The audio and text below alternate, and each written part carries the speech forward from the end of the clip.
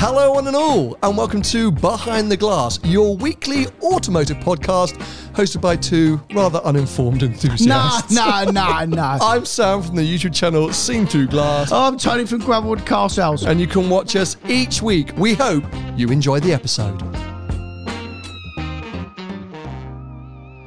Do you do you ever remember the the the, the You're a bit younger than me. Do you remember the paper form Auto Trader magazine? Uh, Do you remember going to the shop and buying? no, no. Oh, right, you I didn't that. do that. I, I, I, because magazines, I really only ever bought F1 racing. Right. Don't forget, the car thing came late to me. Right. I was all motorsport. Fair. So I, I wasn't sitting at home flicking through car magazines. I, I would watch Top Gear. I wouldn't buy the magazine. Man, I can't read. No. Like, well, well, hold on a I can read better than you. I don't read. I don't read. Right. I like to look at the glossy pictures, apart from the F1 racing mag. So yeah. So long story short, no. But, uh, that was your Bible, was it? Oh mate, like like literally, I'd go down there every Thursday. People would be reminiscing to this and thinking, flipping, I used to do the same thing. And you'd buy the Auto Trader book. And I even remember when I first become a motor dealer. Uh, oh no, it was before actually, before I just become a motor dealer, but I was still working in the motor trade. And the uh, au- Auto Trader man used to go around to the dealers and take photos of the cars, and uh, Wow. and then he'd go back and un- upload the photos. but there must have been create the magazine. multiple photo, photo, pho- ugh, multiple photographers. Oh, Surely. one for the whole country. It can't be one.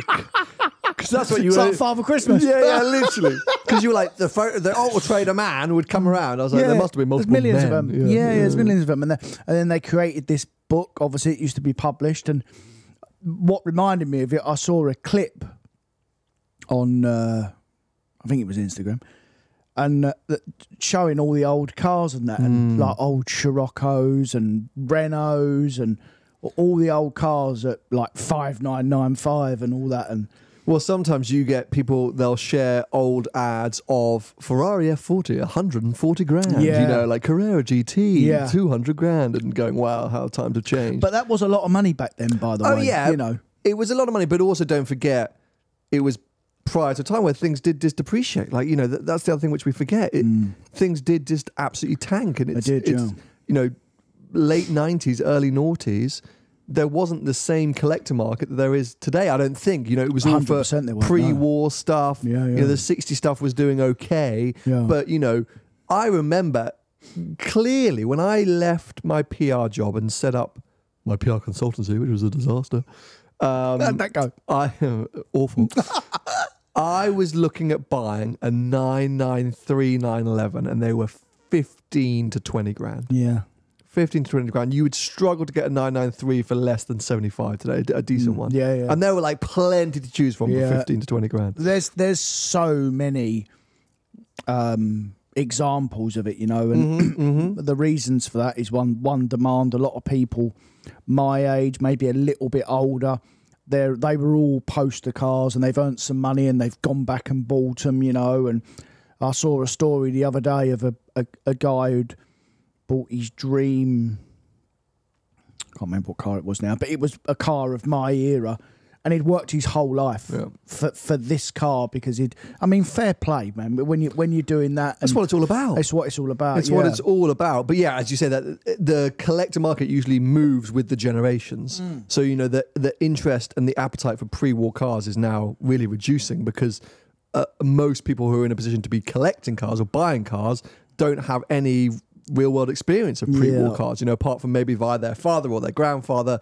So that's why you're seeing this big up spike especially in the in the japanese market. Mm. you know uh, some of the stuff i was looking at the auction. Which auction was it? Some of the auctions coming up just full of japanese cars Yeah, but of that's because the American, American market as well. of course, the. Americans can now import them, Yeah. um, but but at the same time, even just here in Europe, the market is flying you know, for, for, for, for the Japanese stuff. So, Yeah. and that's because we all grew up, or my generation grew up, your generation grew up, Gran Turismo and Need for Speed, and these were the cars on the front covers. So Mm. yeah, for sure. that's what people want to go out and buy. Yeah, it's amazing how it how, how it changes, and and don't forget as well that that cars are a huge tax break for an investment point of view. Oh yeah, it's You- an asset class. it's it's an, asset. investment. Yeah, yeah, So there's no there's no tax on it. So um, that's why that's also why prices have gone the way they've gone because the the real the, the the the big money have all come in.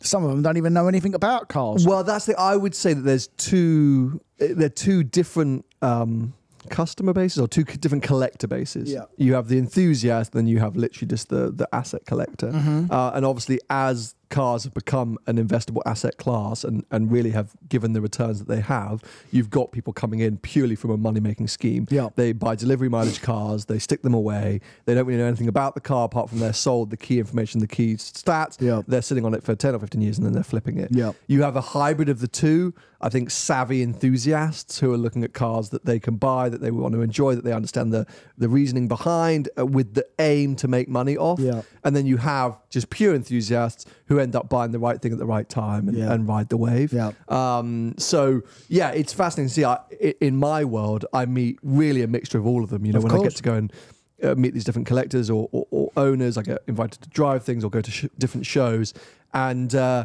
I I cannot knock the pure asset class investor because. We're all trying to make money. Mm. like we're, you're kidding yourself if you like. We're all trying to make money. Yeah. And if somebody came up to you and said, "Look, buy this thing and in five years time it's either going to be worth double the money or at least you know uh, 30 40 Twenty or percent thirty more percent. Yeah, yeah, you go hell yeah yeah. um, it just happens to be that we love the things that these people are buying and we get upset that they're not being used or driven or Yeah. enjoyed but you, you can't knock it so I, i'm never there to Yeah, it's say up to them what they do with their money once they bought it. Yeah, if you don't want to drive it, don't drive it. a delivery mileage car is a delivery mileage car. Like I get Yeah. it at that point. What else are you going to do with it? You know, an enthusiast. I'd love the idea of an enthusiast going out and buying a delivery mileage McLaren F1 and then putting ten thousand miles on it. But so few people are going to do that because of the money that will be lost. Yeah, You know, the money that's required to get in. yeah. So I yeah. know. I know some people fast forwarding that, that are trying to do that with modern cars now. Yeah, of course. So of course. I, I know people that have got delivery mile GR Yaris's, Mhm, and uh, mhm. even heard of a, a guy the other day that bought a um, Vorsprung uh, RS3 Oh, modern. wow. Yeah. Never used it. Yeah. No. No. Just I mean, you got to play the game, there. right? Well, thirty years. Yeah. You, you got you got to play. It's just got to sit there forever. Yeah. But that's the thing I think a lot of people in that world, auction world, investor world, are trying to figure out right now is is what what do the next 10, 20, 30 years look like for the collector market? Because as I say, the the pre-war stuff, even the the 50s and 60s stuff, you know, the market is shrinking for that kind of stuff. Mm. One million percent because the big, big money guys, crypto not so much anymore, but still, people who are making a ton of money now in their late 30s, 40s, some are younger, are, are buying, yeah, 90s and noughties cars. You saw that collection that blew up over Christmas, only appeared over Christmas that Tim went to film, um, which had like a Reventon, uh, a Singer, um, I can't remember what else was in the collection. But anyway, apparently a very young guy, Fair. very young guy, has been super successful. Hey, look at Lee collection Yeah, yeah. you know, in the grand scheme, and that's all modern cars. So, if you're someone who's advised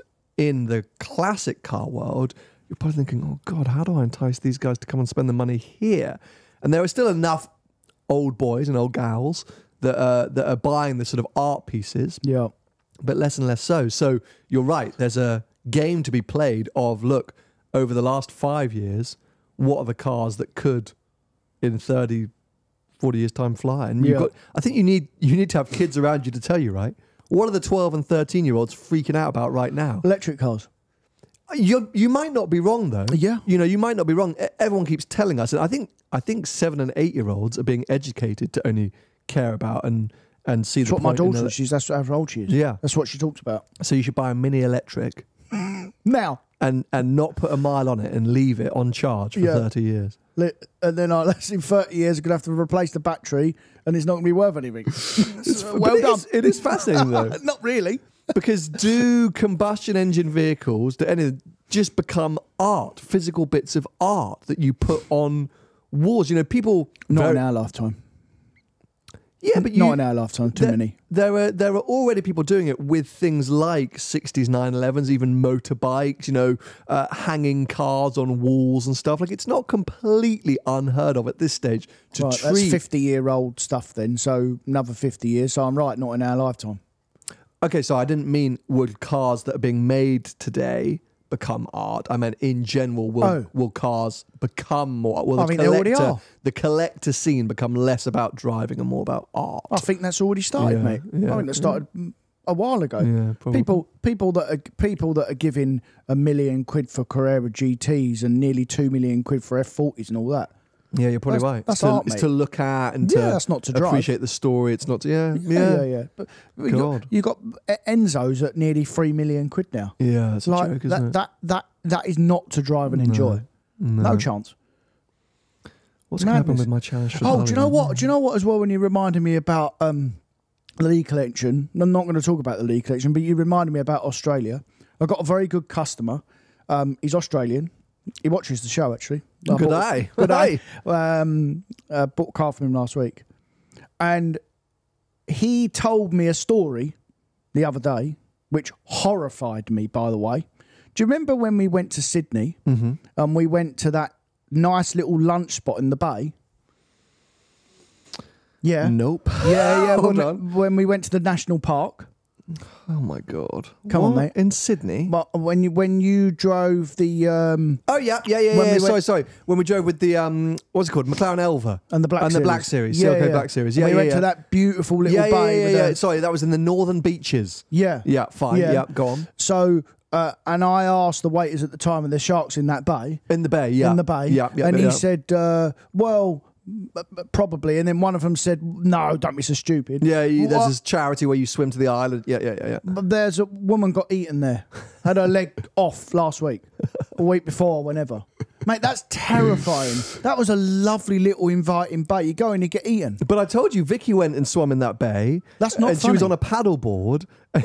this is the, one of my favourite stories because we were staying there because my godmother used to have a house in that bay, and it was like you could paddle down to the cafe to for lunch. So Vicky was like, "I'm going to go on the paddleboard," and on the way back, these kids, local kids.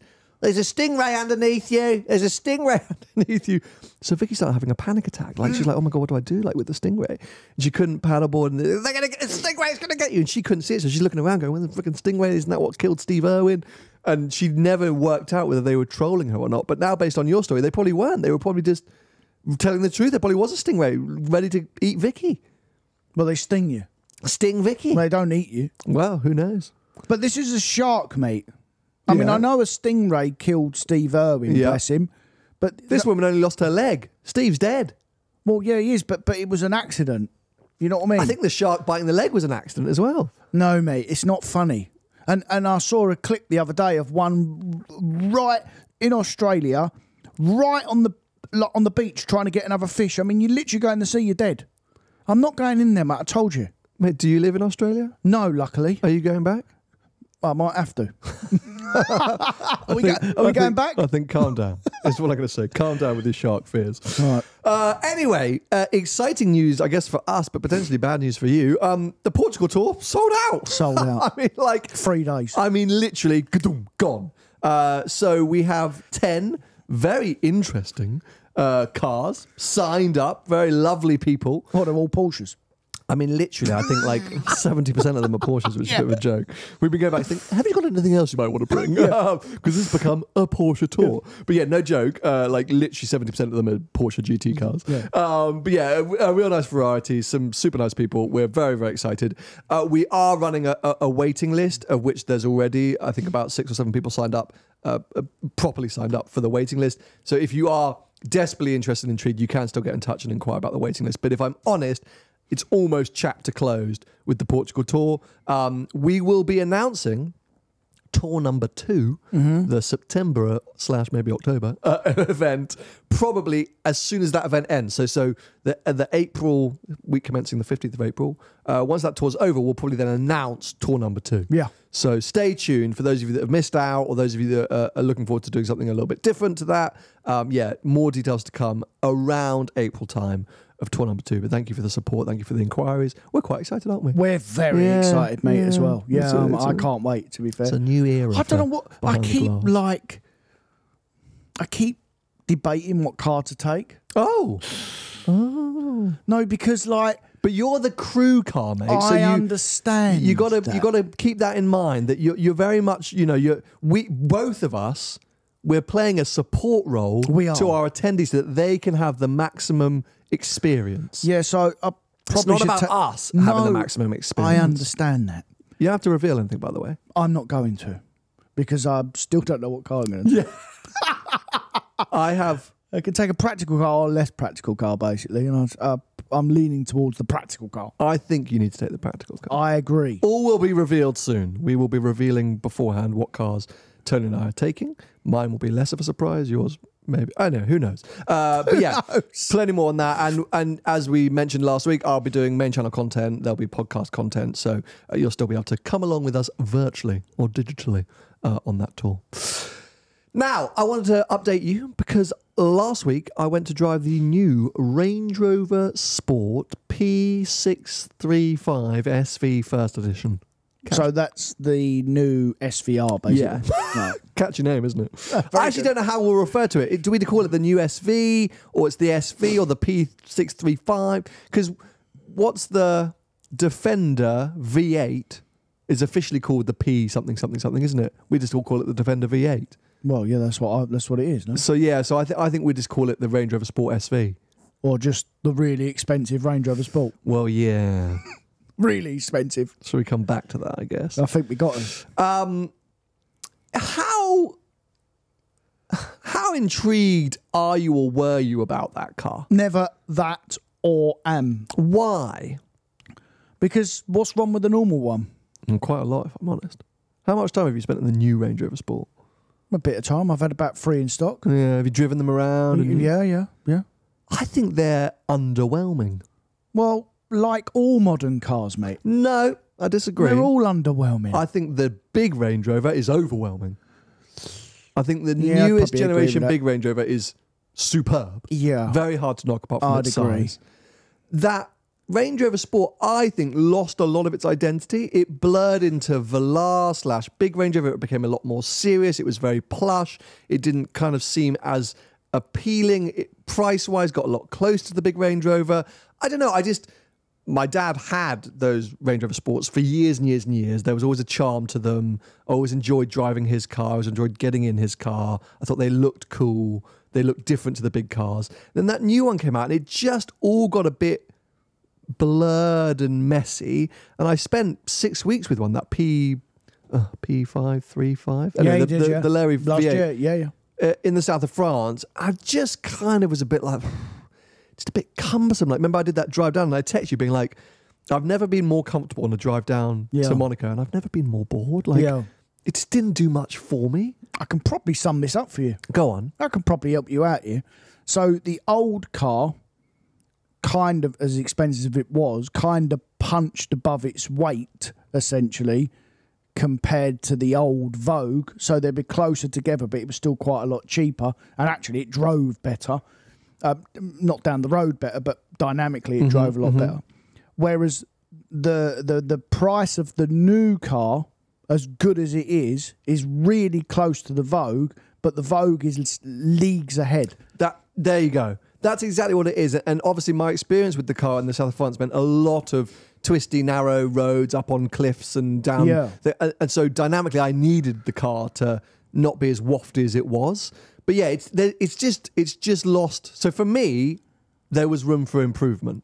I did not think the room for improvement was with an SV badge or SVR badge. You know? But I think it's a perfectly good car, mate. Me, the sport, Fine. the normal sport.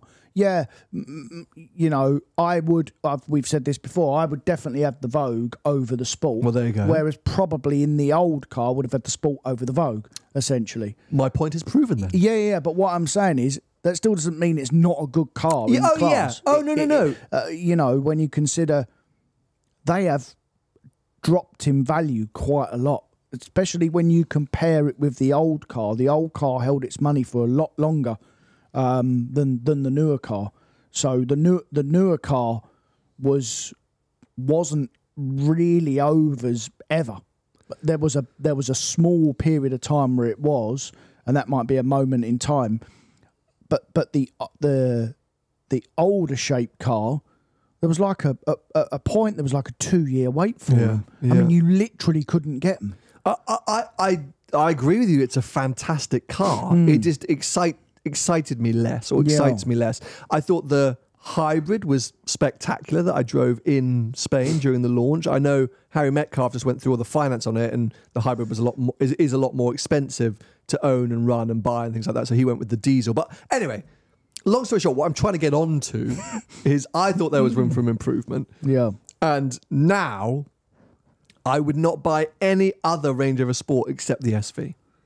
Bear with me. Let's not get onto the price.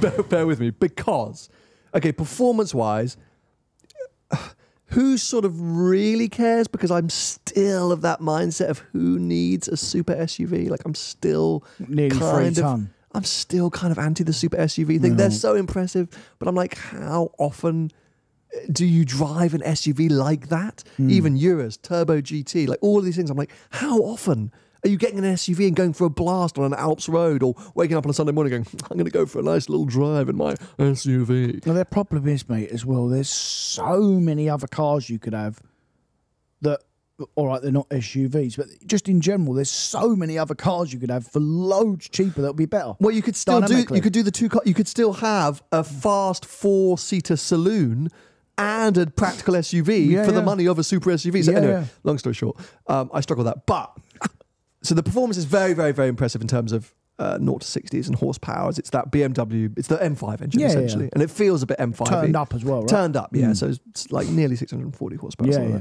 that. Um, the thing that is mind boggling about this car, they're calling it 6D dynamics. Mm. It has the it's like the dual damper setup, essentially that McLaren uses. Mm.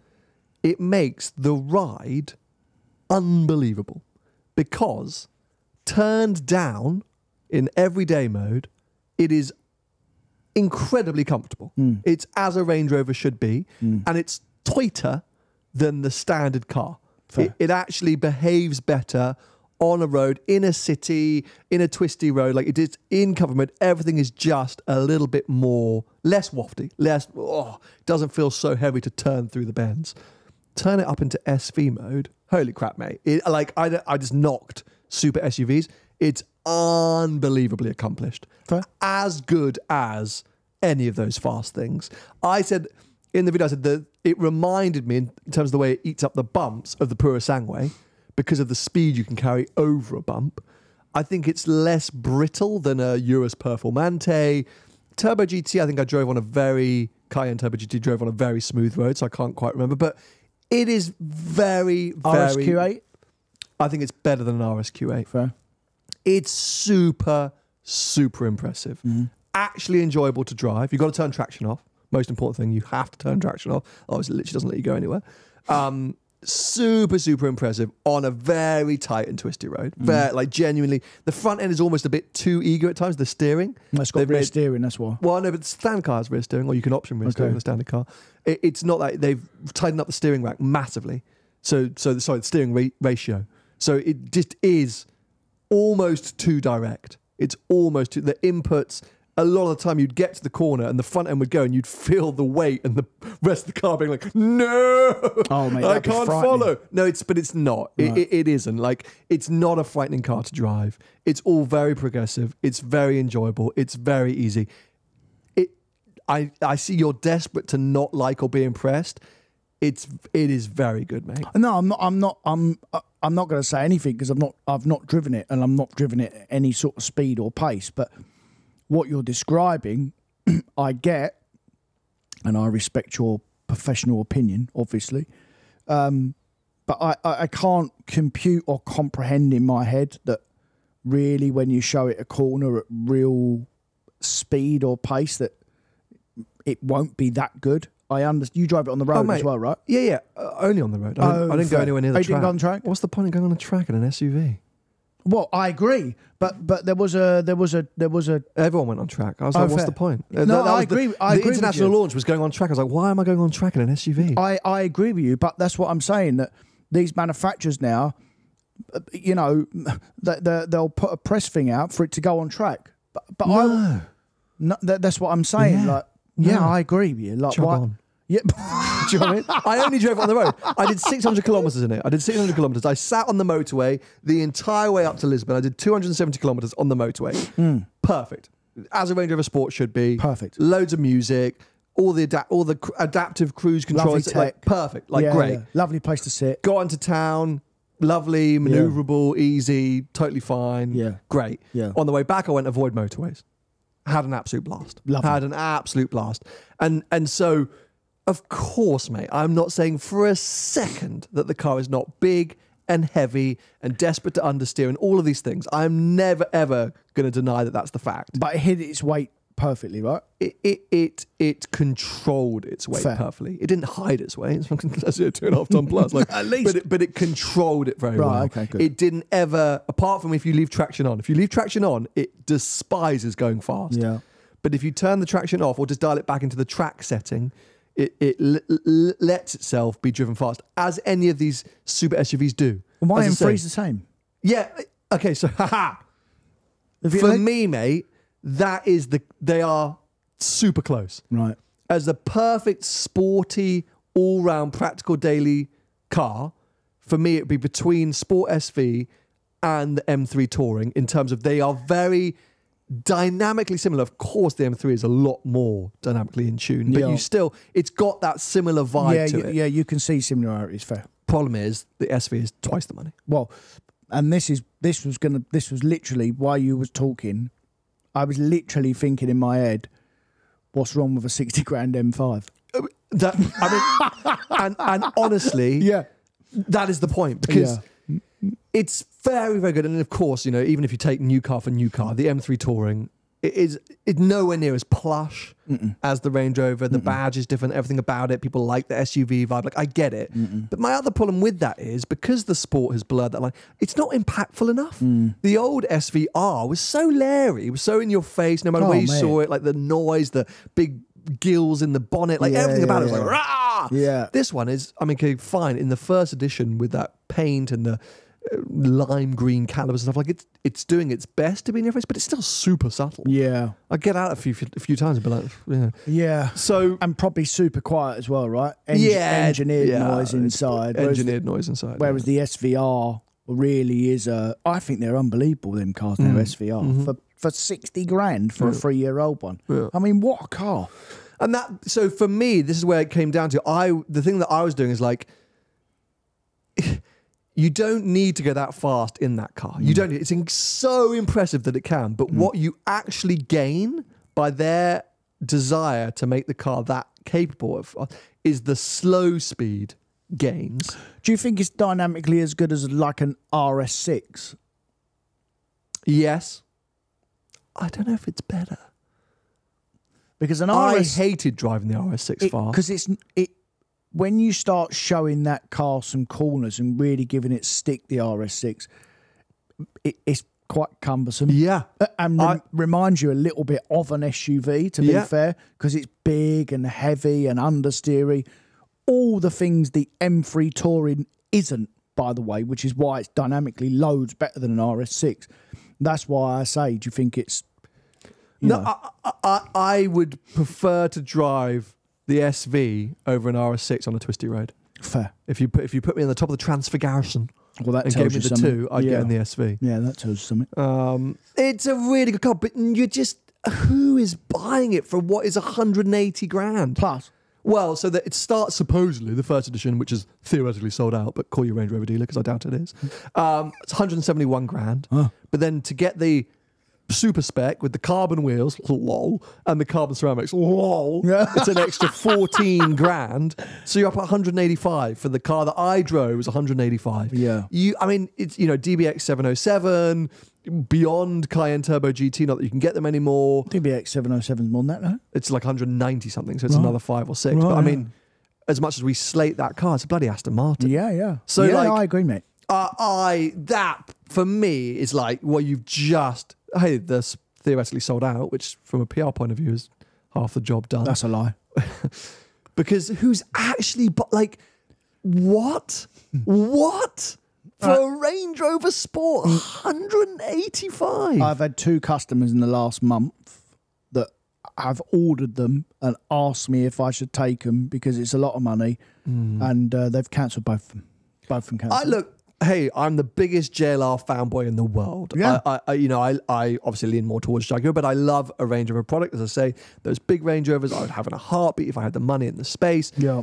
The sport is very good. I just didn't like it as much. But across the board, I remember mum's had a vote. Anyway, Yeah, yeah, that's almost, I'm like target demographic. yeah, But you've just ruined it with that price tag. yeah, yeah, yeah. I mean, we know Range Rover Sport new one has been expensive anyway, but even if it was 150, you'd be like, okay, I kind of get it. Theoretically, it's limited, blah blah blah blah blah. But 185, eh, it, it just annoys me. But it I- just annoys I me. I agree, and the the the the, the older shape SVR, obviously this new one's a better car, and by the sounds of things, quite a lot better. Yeah, miles better. I yeah, would yeah, say. yeah. But well, the interior for a start, without, Yeah, before yeah. you even turn a key. But that old car was hundred grand, Mm, hundred and five, hundred and ten if you got a Larry one. Double the money almost. nearly double the money. I mean, it's a little bit of a Yeah. p take when you think about it, really. And Yeah. actually, like, what what does it? Listening to you for five minutes, what does it actually really compete with? Like, for mon- for the money, like you'd have probably have the Porsche Mm-hmm. over over it. I'd say it's that. That's the most appropriate rival because they're equally as bland. Do you know what I mean? Do you know what I mean? Like, But like, that like Porsche GT is very good, though, it's right? unbelievably good, Yeah. but it's the same thing where only the nerds know it's a turbo GT. To everyone else, it's just a Cayenne. Yeah. And it's going to be the same with that Range Rover Sport Yeah. SV. Yeah, Most people it's a Range Rover. yeah. But go on, what else would you compare it with or rival it with? Well, if you if you're if you're going money, you have to compare it with the big hit big hitters as well, like Mm. like an Urus, like the 707, Mm-hmm. and it's not it's not that brand to command that money. Mm-hmm. I know uh, I know an Urus Performante or an Urus S, they are more once they've been specced, but list for list, there's not a great deal of difference between the two. And then obviously you go extras and they start piling up. 707 the same. We all know I'm not the biggest Aston fan, but I'd have the 707. I know that's that's what I couldn't believe. I was saying the same Did thing. I'm you? like, I hate that. I hate the DBX, but I would pick it in Yeah. price for price. If Yeah, I I was, agree. And but the for me the big resolution is the 6D dynamics. All the improvements have made the Range Rover Sport better at lower speeds and in everyday situations. At which point, if you're thinking of spending that money just to get a better Range Rover Sport, buy the big Range Rover. Yeah. Do you know what I mean? Because Yeah. unless you really think I'm going to buy this SV to go on a hey, come on the Portugal tour in a Range Rover Sport SV, or you're going to do track days at Silverstone every other, uh, other month. Firstly, you're buying the wrong car for both Full stop. situations. But long story short, then just go and buy the big Range Rover. So Mm. again, like it's just oh, I was so annoyed because I loved it. And Mm. I was like, I just would have one of these. I would, mate, I would hands down have one. If it was 110 or 15 grand, I would be like, yeah, cool, I'm going to do it. And I would have one over an M3 Touring. I would have one over an M3 Touring if it was similarly priced, all those things. But I would never have one at 185 grand. Even if I won the Euro Millions, I'm not buying one. Mm. So that's But it why was I never left- it was I never left going to be um, M, it was never going to be M3 touring money, is it? It's No, not, no, no, you no. know, It was not- never going to be M3 touring money. But do you see what I mean? Like it, mm. if it, if if the price felt more appropriate, mm. it feels disproportionately expensive, Yeah, yeah. and that's what's frustrating about it. But you know, if you if you have decided if you're wealthy enough to not care and you've got one coming, boy, will you be happy! It Yeah. is a fantastic bit of kit. Yeah, fair. It is a fantastic Yeah, bit of kit. but there's nothing wrong with a Range Rover. Full stop. Yeah. For ninety percent of what you're going to use it for. yeah, probably. But uh, anyway, should we move on? Yeah. because it's time for Stock Watch. Stock Watch. We're going to check out some stock that we've seen. I've got to get that theme tune sorted out. Uh, now I need your I need your help, Tony. Okay. you have got to stop me from buying a car. What's that? So Oh mate, I've just seen it. I'm in so Oh. much trouble here, Tony. I'm I in can't, mate. I actually don't know how I ended up in this position, but you know, like I just love cruising, auto trade and car sales, and I've got this long, you know, months ahead. I've got a anyway. Who cares? This is a Gen 1.5 2016 Porsche Panamera Turbo S. Currently listed for sales at Magari Automotive. Have you heard of that? I've never heard of them. Never heard of Magari Automotive. Nope. Um, I mean, where do I start with the good news? Firstly, Voodoo Blue. It's a PTS basically. Yeah. It's got lovely wheels, ceramics, carbon ceramics, Yeah. loads of other ice options. 22,000 miles, Right. sunroof, Yep. 54,000 pounds. Okay. Why can I not buy it? Because it's a pile of shit. No, mate. I had like I literally I I've I have so nearly called these people about four times. I obviously would need it to be inspected, but I think they're somewhere like in Plymouth and there's there's like a Porsche dealer there. So I was like, okay, cool. I'll just get the 111 point inspection. Like make sure ceramics are the big thing because they're going to be 10 grand to replace. So I Yeah. need to make sure the ceramics got life. Um, this is the 1.5 2016 car, so bore scoring and things like that really not that much of an issue. The turbos had to had a recall, so I've got to check those. Air suspension needs to be checked. But apart from that, like, mate, what a stunner! What a car! Voodoo blue. You've got way too much money. I mean, that that's 55 grand and 55 grand a year to maintain. No, it's not. No, it's not. I've read so many buyer's guides. These are not expensive cars to run. These are not Panameras compared to Cayennes and all things like that. Especially if they're well looked after, if they had the right recalls. There is not a ton of stuff that goes wrong. Servicing, all things like that. They are not compared to some of the crap I look at. These are not expensive to run, mate. All right, off you go then. And let me know how you get on in two years. And also, let me know how you get on when you want to come out of it because I don't want it. I will not be able to sell Blue. it. Yeah, yeah, for that reason. I, I will not be able to sell it for you. It'll sit around for a year before the next person mad enough to part with any money. And and it'd be worth 25 grand. The thing is, I know you're right, and this is the problem. So, the reason I haven't called these people, lovely Magari Automotive, I'm sorry for Ruining your yeah, day. ruining your day. um, we sure it's a nice example. I think it's a fantastic example. I think Yeah. it's the best example out there by a country mile, and Yeah. I I want it. But the thing is, I I know you're right. It's the most expensive, whatever that generation Panamera is by a Mm. country mile. Um, it's a quirky spec. Mm. It's got the ceramics, so it's expensive. Like there's all the things about it. Like, and you're right.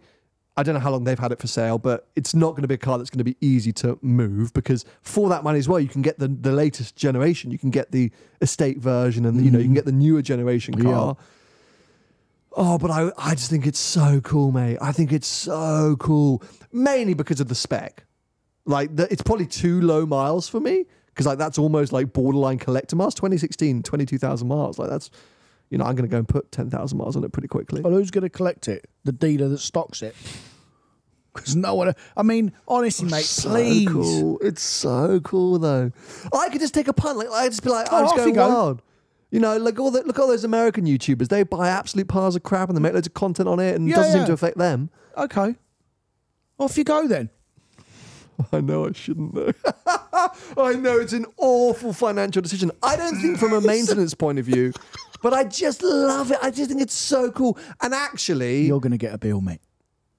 Maybe I'll get a bill, but I'm not You'll going to get a Challenge Stradale bill. I'm not going to get, get a bit. I'd have to get it inspected. I'd have to. The, for me, the biggest bill is the ceramics. If they turn around and say the ceramics are needing then I'm never getting near that car. Hmm. But The if the, suspension, let's go. Well, no, but they but they don't. If I mean low mileage, it's a bit worrying because it suggests it's been sitting around quite a lot. That's when the suspension lets go. But they don't just let go the suspension.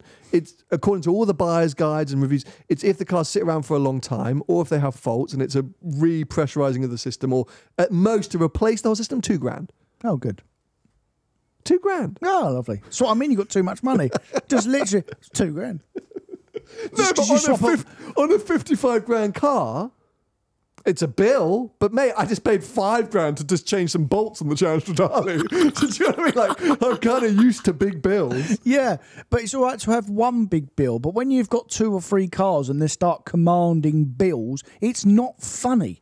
You're literally But I going to could, be. cl- I could be like, well, you know, I'm a YouTuber. Like, I have to make content on it. Because that's what those Americans do. It really annoys me. All the Americans, they've got like 50 cars and they're all shit pieces and they all work on them endlessly and then they and they seem fine. I'm You're like, just copying Matt Armstrong. no, no, Matt does something amazing. He buys wrecks and rebuilds them and makes that's un- That is a wreck. unbelievable. No, but like. It's not a wreck. Yes. It's not a wreck. It's 22,000 miles, mate. wait It's for you to pick up gleaming. on It's, that. it's perfect. Like, it's, gleaming. unbelievable. Got some Oh, nice okay. light on the photos. someone else go and buy this car, please, to stop me from making what will I know because you're right. I've also never really liked a Panamera, but I love this. Um, you're right that in six months' time, I'm going to be like, why did I buy this Panamera? And then I literally, I'm going to really struggle to come out of it. So somebody else go and buy it. And you have to think about these things. Shout out Magari Automotive for taking Yeah. some fantastic photos of that. I made. I'm not saying no. I'm not saying no just yet. I'm going to call them this afternoon. uh, what's your stock watch this week, mate? What are you shouting Um, out? actually, I'm going to go. this is nice. Go yeah, um, two nine six. Two nine six European Prestige. Yeah, Black car, very you. Yeah. Listed at two. Have we not done a two nine six before? Listed at two thirty. Didn't we do an F8 or something? What did we do? no, we done. Um, did we do a pista? Oh yeah, Pista. Yeah, fine. what two nine six? You're just Ferrari obsessed. No, I just um, Uh, Is that jump out. that cheap? Yes, these jump out at me because six months ago or a year ago they're three hundred odd grand. What what what's the list price on a two nine six? Oh, you spec one up. What's the list price on a two? Uh, mine was three oh eight. no. Yeah, it was. Yeah, with Oh wow. with some options. Oh fair. So take the dealer mark. I mean, there's a hundred grand. Two thousand miles on the clock. This one here. Yeah. So black on black on black. What else has it got? It's a hundred grand saving. I mean, let's be honest. It's not going to do that again. It's not going to lose another hundred grand. It's not going to be 129 grand, mate. That car. No, chance. but it could be 175, 180. Well, all right. Well, so can so can everything else. Not my Panamera. Well, that, that, uh, hold on a minute.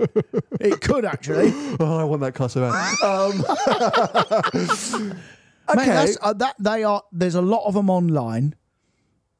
That I, I think when they get, they, they'll get to 199 at some point soon in the next year or so. I would have thought that's going to be unbelievable car at 199. 200 grand for that. What's happening to Ferrari, mate? They've What's, lost the plot, mate. What's happening to Ferrari used values? Mate, this is insane because this is an incredible car. Yeah. Like a spectacular car. Yeah. that, and I know people are going to say, "Oh yeah, that- it's because it's got a V6 in it. It's because it's hybrid. No one wants it." We know the truth is, no one wants it because they bought it to get a Purosangue or to get a two uh, an SF90 Yeah, yeah, yeah. XX Stradale, Yeah. or to be consideration for we don't let's not forget the new LAF is coming uh, probably at the end of this year. Oh, they wanted a convertible and that to buy the coupe as well. It, it's it's playing the game. Yeah. is now playing out on the used market because you know I say you are you are mad if you don't think that that is a fantastic car and and look at any single person who's driven that car journalist collector but it is a fantastic car Is there a better? Is there a better modern supercar on the market? I haven't driven 750s yet I think it's got to be one of the best. It it's, has to be. It's got it's Modern. I mean, like when mm. I say modern, I mean in the Yeah. last year or two release. yeah yeah it's got it's got to be. What's better than it? I don't know. Yeah, I, I, don't, I don't know. It's a fantastic car, and you're right. Therefore, at two hundred grand, Fifty of them online. Fifty. But a Ferrari. Do Ferrari care about this? Because No. does this not diminish brand value a little bit? They used to care. I don't think they care anymore. Because they floated, didn't they? It's all shareholders. Don't give a toss anymore. But I think it does. I think the minute you can start buying Ferraris cheaper than Lambos, McLarens, Porsches, etc., it it ruins the brand a bit. It opens up the Ferrari brand itself to all the people that they're trying to, you know, uh, sorry, sir, no cars are available. You know, you walk in saying, "Hi, I want to order a thing." Well, it's a five year wait. Well, fine, I'll just go to your forecourt next door and buy Yeah. one for 150 grand less. Like, But by the way, while we compare, because we should compare, none of the other mid-engine Ferrari supercars have ever dumped that money in the first year, ever. Well, and I can't think of it. F8s are still more, as we spoke about in recent episodes. We don't. That's what I mean. We've done a comparison. That's why. That's why we done a comparison. They were the similar money. What's a four five eight these days? Because they've been stupid. A, a good one will still be 150, 160 for a good one with low mileage. I'm gonna find. I'm gonna do. This is just me being silly for a second. They're similar to 488 money. Good 488 is 150, 160. I want to see what the most expensive four five eight is, just for bands. Oh mate, I bet it's 180, 200 grand. Will there be someone out there deluded? Yeah, yeah. Oh, so it's annoying. It's all the speciales and that one. Uh, okay, let's do coupe. Hold on a sec. Body type. Coupe. There will be, be, be what between 180 and 200 Italia. for an old knocker. Here we go. 1,000 mile, Yep. 458 coupe, Yep. 185. There you go. What a load of old rubbish. And then you've got a couple, okay, a, main dealer, 8,000 mile car, 160. Well, So the stupid part is going to be you're going to get to a point where very soon a a, a 15 year old 458 mm. c- close to a 15 year old 458 is going to be about 20 grand less than a 296 yeah. And everyone's like well that always happens old ferraris always appreciate a new ferrari like but the this is all getting a bit silly people Well, they will. this is all getting a bit silly Yeah, they'll they'll they will find their feet. Like I said, they're not doing that again. They're not doing another hundred grand. That car won't be one thirty in the next year or two. It just won't. Because Well, a, a, a, a, seven year old four eight eight is still one sixty Hmm. with good miles on it. going back to our chat at the start of the episode with you know future classics all these kind of things people that is this a car at 180 190 that you buy and you just stick away I don't know, mate. It's a computer that car. it is a computer so i would worry about sticking it away but but will these recover will people suddenly go oh actually hold on a sec because the one that i obviously keep staring at is the is the romas Hmm. the romas continue to be in freefall. I'll tell you when they recover. when, When they stop making them. when they stop making them Yeah, they'll recover then. I don't think they'll recover back to anywhere near where they were list, but they'll they'll hold and trickle, which is normal. That that's what normal mm. Ferraris normally mm. do. But obviously they've opened up to a bigger customer base now. They've got a lot more cars on offer. And obviously they play the game with the people as mm. well. Same as Porsche. Porsche do the same thing. yeah uh, So- so porsche i don't know yeah But you're talking different money with Porsche. That's the problem. You know, when you've got when you've got a, a lot of 911s sitting on the market, they're 90, 100 grand. yeah When you've got a lot of two nines, uh, and it's a different customer, mate. You know, the, the customer that's got 80 or 90 grand for a car, he ain't got 250 grand for a car. I don't know why though. As good, I, I don't sit here getting excited that I'm going to go and buy that soon. And I don't, but no one is because there's 50 of them online. Yeah, it's hard to get. It's only really been out like, a year. Yeah, and I know how good it is, but I'm not Incredible. going.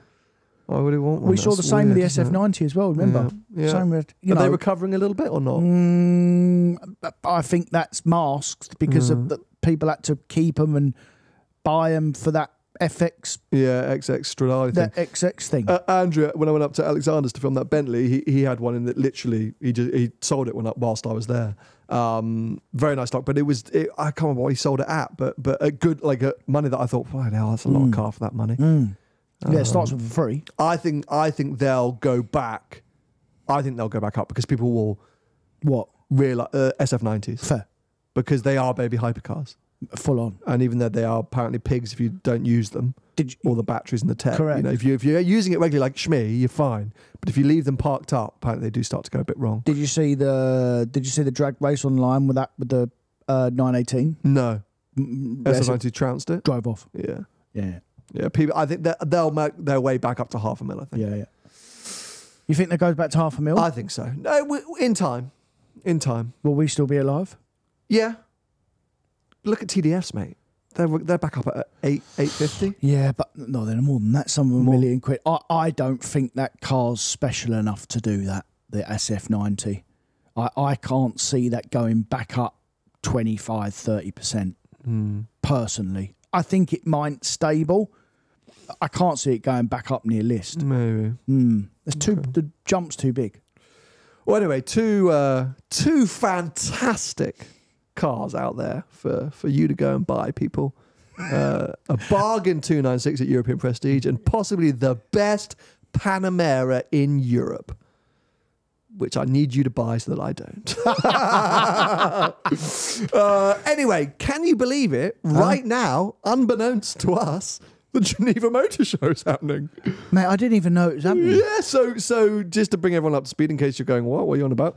Uh, Geneva Motor Show used to be, I would say, the biggest uh, trade, uh, not trade event, biggest um, industry event uh, each year. Like from Yeah. when, I- when I started in this game, like bloody hell, that was the thing you had to go to. It was the car show to go to. it was exhausting Yeah, and it was full on, but it was the the place to be from a network. You would start your year, you'd secure your business, you'd meet up with all the different manufacturers, the press team, see all the new cars. Everything was unveiled. Yeah. Like if you didn't go to Geneva, you were like, that was bad for your year. Yep. uh, and then, as we've discussed over the recent years with COVID and things like that, and the money and th- the growth of things like Festival of Speed and Quail out in America, well, yeah, just interest had disappeared. Um, the the need for it has seemingly disappeared. well, I think COVID killed it.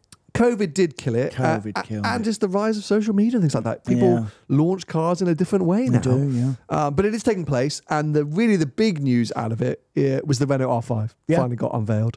Um, unbelievably cool thing. We've spoken about it a bit before. Um, three different powertrains, I think, uh, two sort of urban, and then one for a little bit. From 25 grand. That's what they're saying. They're estimating from, 25 grand in the Yeah. UK for the the base urban car. Yeah. So I think that means the Larry one's going to be sort of the high 30s, I, I guess. I would have thought so. um, yeah. for the long range one. Um, it looks awesome. I think they're they're doing everything right in my mind in terms of whether the inside looks really nice.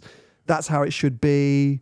Um, let's wait and see. I can't work out how big it is. it looks um, big.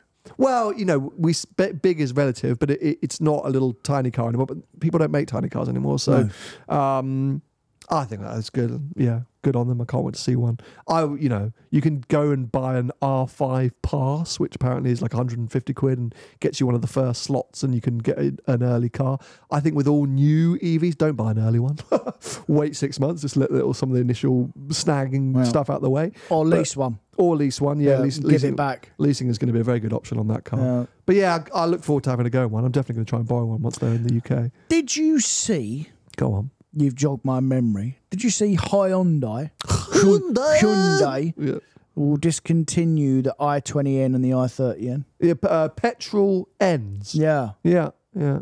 it's a shame. Because the N is now going to be purely electric. N Yeah. performance is going to be electric in this country or worldwide. Not sure worldwide, Okay. but Europe, I would think, Yeah. because it's not won't be just this country, will Sure. it? It'll be Europe. Yeah. What a shame. Well, just the the next manufacturer replacing an iconic mark with electric only equivalent. Yeah, I mean, it hasn't first, got the it- last. It, hasn't left a huge legacy that N Hyundai, but it's an iconic little car for the time it was out. I mean, it's a bloody brilliant car, Well, both of them. I think as yeah, as we've said, even the Kona N, uh, as we've said that those three, Kona, i20 and i30, are not overlooked because I think people know about them. They're and- great. But they're unbelievably good little Yeah. things. Yeah, proper Yeah. little hot hatches. Yeah. That's actually that's what we should do more often. We often say, "Oh, Megane and the Civic are the go-tos." I thought, yeah, we should start including that as proper drivers, hot hatches. Yeah, it's it, it's in there, but but I think it's still third out of them Sure. three on the Sure. list. But Sure. but it's also a lot cheaper. Yeah, performance, well. character, reliability, all those different yeah, things. yeah, reliability. Yeah, It's a winner. five year warranty. Um, even though we're desperately trying not to lose subscribers by talking about EVs, I do have to mention one. uh, Ineos, my beloved Grenadier, quirkiest but coolest SUV that, that lives. Um, Mr. Ratcliffe, Mr. sir, Oh, Sir Jim. just bought Man United I know. or a bit of it. I know. He's got a lot is of that, money. Is that impressive? Is that cool? Well, but he's leaving a legacy, isn't he? That's what he's doing it But for. he, but he owns everything. He owns the cycling team. He owns the F1 team. Yeah, yeah. He owns a football team in somewhere else. Niece, Nice. There you Yeah, go. So, you know, which is not very good, but yeah. fine. Um, well done, sir. new new model from them fusilier No idea. fusilier um reason i'm bringing it up interesting because firstly you know the grenadier Hmm. was it really in my mind focused on that one specific job of basically going going to the places that no other vehicle could get you to like it was it was good on the road but really where it was at its best was just absolutely Off-road. yeah, Yeah, like yeah. in the sahara desert Yeah. so I thought, okay, electric, because the new Fusilier, electric. I thought, well, that's interesting because how far can you go off road? well, he's not. He's not a stupid man, old Jim. He's absolutely that. He is not. They've spoken about the fact that there will definitely be a range extender version Yeah. um, for that, but also looking at, I think you know, various, various. Uh, what would you call it? Um, power sources? No, various uh, power trains. Power trains. There we go. So I like the look of it. I have to say, it's a little bit smaller, a little bit more punchy than the old Grenadier. And I just like that because they're semi, well, they are independent, but because he obviously has entered this world in a bit of a like a here we are, boom kind of way, he's been a bit outspoken. I saw a few quotes from him where he was just like, look, let's face it, uh, EVs work in some environments, Mm. but they're not perfect in every environment. And we've got to look at different options. And range extender is going to be good for us. And this is going to be the most capable EV in an off road environment. And therefore, you know, we need to make sure it can go distances. And we're looking at other things. Like, he was just very much like, we're Honest. not honest. Yeah. I saw that. I think the quote that was in Top Gear or it was like, we're not going to be like a sheep and follow the masses into Mm. this kind of all only Yeah. BEV market. Yeah. We're going to look at all the options. And I, and I like that. And I saw Mercedes came out saying that they're also going to continue making combustion engine vehicles well into 2030s. And I, I think, you know, we speak about it and we're not going to bang on about it, but I like now that people are opening this conversation into Mm. multiple options. And I just thought it was kind of cool that that they were like not going, no, here's our electric. We're now we're going to make an electric one. now." Yeah. It was like, hey, here's our new model. We're gonna there's going to be loads of varieties. We're gonna- Yeah. you know, we look, look at different ways to to power this thing. Yeah. I think An- that's cool. a- a- an electric generator range extender type vehicle makes complete sense to me. Yeah, as does an extreme hybrid, Yeah. as does a one liter crazy hybrid. You know, so Yeah. Just you know, all worth looking into. But yeah, Yeah, yeah. cool little car. And as I say, for me, size wise, I'd like a something a little bit smaller, punchier. The Grenadier is cool, but maybe a touch too big for me. But anyway. Long and short of it, I think that is it for our car news and our episode. There were a few other things unveiled at Geneva, but nothing particularly that caught my eye. You didn't even know it was going on, so I I, I literally Yeah. didn't have a clue. Fine. Um, so yeah, so we'll wrap up this week's episode. I'm just looking now. Do we tease? Do we tease the new format of Rate My Ride? Mm, you can if you want to just drop Just a little. little gem at the end for those of you that have stuck with us Yep. right until the end because I think some of you drift off. Don't be like a, that. There's a core audience right here at the end. Let's just let's just say Rate My Ride 2024 is going to take on a bit of a new meaning. Yeah. and we want to physically, is that right? Yeah. Physically rate your rides Yeah. By driving them. Yeah. Dun, dun, dun. I'm going to come and slate it. Going on here. It's, uh, yeah, so I think maybe we'll launch it next week. Maybe we'll launch that concept next week. That'd be cool. Yeah. Come okay, into some of your houses or you come into us and we drive in your car. Basically, there you go. That's it. Just, I was teasing it. Tony's just revealed the whole concept. But there you have it. We'll, we'll end things there. Um, if you've been listening to us on Spotify or Apple Podcasts a few days earlier than the old video episode, well done you. Uh, you can review, uh, rate this uh, podcast. Please do so. Uh, if you're watching us, then subscribe now, turn on notifications. If you want to follow Tony in the meantime, he's at Tony Gravel Car Sales on most social media platforms. I'm at Seen Through Glass, and this podcast is at Behind the Glass underscore underscore podcast. We'll be back with you next week for the full explanation of all new things. Rate my ride. Bye bye. There.